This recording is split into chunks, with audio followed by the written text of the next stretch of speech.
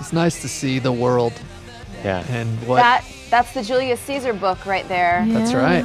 That's the first one, and I, t- I had everyone sign that, and I got it framed, and it's in a shadow box, and I took it home. We mentioned. I mentioned Yeah. that you chose that as your prop. Yeah. your We We were talking keepsake, about it during our scene. But we didn't know you print. You framed it. and Yeah. Yeah. That's cool. And how about this?